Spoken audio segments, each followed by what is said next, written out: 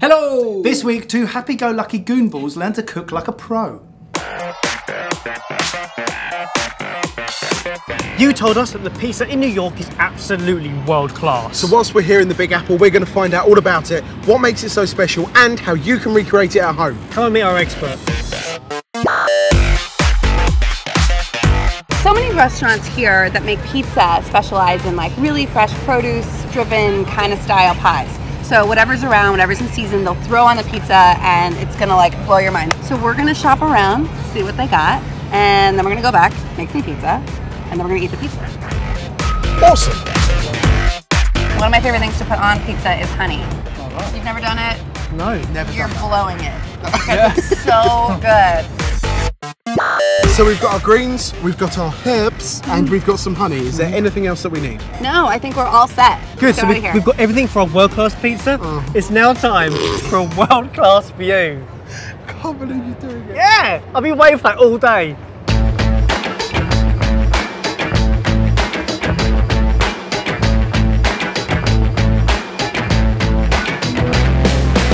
Now that is a world class view. And to start our world-class pizza, we need a dough. Am I right? a world class crust. A world-class crust. will. Yes. So luckily for you guys, I already made one. Oh, that's very kind of I know. Well, I knew we'd be at the market early, and it's actually better if you let it sit a day ahead because it develops a lot of flavor. It gets really relaxed, which no one likes a stressed out pizza. No. So this is just flour and yeast and salt and water. And you don't even need a rolling pin or anything. All you need are your hands and some flour. So I'm gonna dust the counter for us. When you when you're working with it, try and use the back of your hands like this to kind of stretch the inside. Oh. Because you want the inside, like the middle of the pizza, as thin as possible because that'll get the least amount of heat. So it needs the most help. Otherwise, you'll get like a soggy pizza. Another thing when you're making pizza like this, like don't even worry about getting it perfectly round. So we're just gonna get a sheet tray. Um, so I'm gonna oil the sheet tray, olive oil, and then just, you know, slap it on there. The pizza sauce, right? We're not actually making like a stewed sauce like we would for pasta. We're just using canned tomatoes that have been crushed. So there's the tomatoes I drained off the liquid, crushed them by hand, and then added some raw garlic and a little bit of salt. and So it's just oil. really simple flavors. That's it. I'm gonna just spoon a little bit on here, and because these are wet, uh, you don't want too much. You, like again, like a little bit kind of goes a long way. That's sort of the name of the game with pizza. Okay. So why would you advise not using fresh tomatoes? Uh, they've got a little too much water, and they're also really inconsistent. So next, so we've got our pizza dough, we've got our sauce, Toppings. cheese. Cheese. Wh- Which cheese? You got quite a lot of cheese here. Well, you can hand me that bowl. That's mozzarella, and then that bowl as well is also mozzarella. So whenever you're buying mozzarella, this isn't string cheese. Like we're not using the stuff that comes out of that creepy plastic. This is really nice, fresh mozzarella. Try and find the best stuff you can find. But you want about the same amount of cheese as you do tomato. So if you'll notice, our crust is very thin. There's a very thin layer of tomato sauce, and we're gonna do a very thin layer of cheese. Parmesan, king of cheese. This is basically kind of like our salty moment. Um, it's gonna bake a lot differently than the mozzarella. It's not gonna melt as much, so I like it when it gets on the crust. no, don't get carried away. We've got this situation here, and before it goes in the oven, we need to do two things. We need to drizzle it with olive oil. What does the olive oil do? It helps to crisp up the crust and also helps it brown. And then last, Yes. our seasoning. So just a little bit of salt and pepper.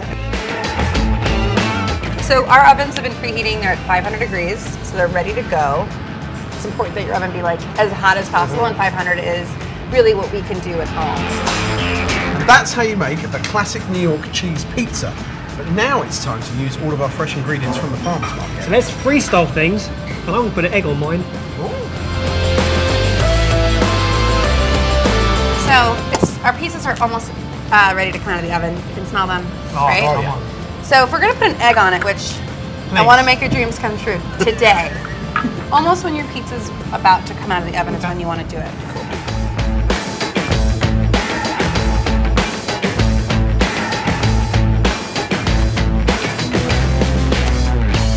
So I made a little bit of chili honey with that honey we bought. Yep. I just heated it up with some chili flake, um, and I'm gonna drizzle pizza with it. How good does that look?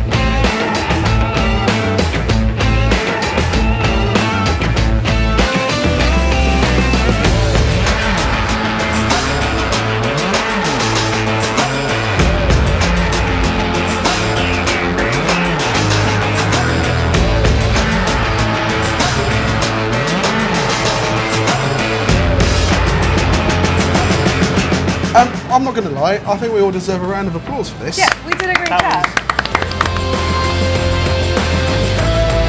Oh, that's really good. Like, so good. No fooling. I know you guys at home are thinking, that's just a pizza. They're making a lot of fuss about just a pizza, but mm. honestly, that's the best pizza I've ever had. And I've been to Italy a lot.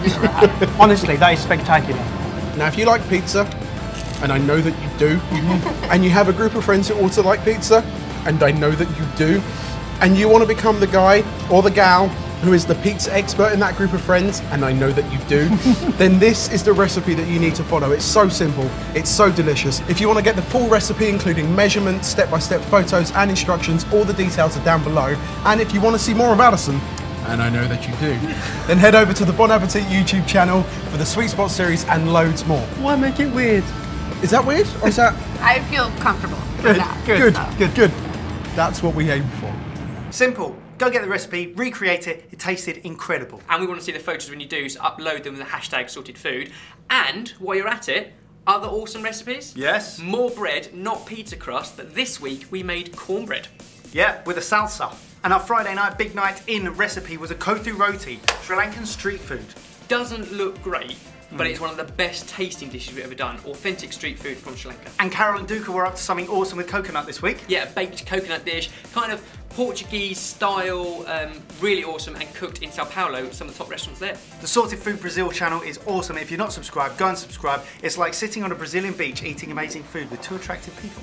Comment of the week! Yeah, I like this one. This was on our strawberry not cheesecake video, and it says, from potato, upon seeing Barry for the first time, my little bro said, I like him.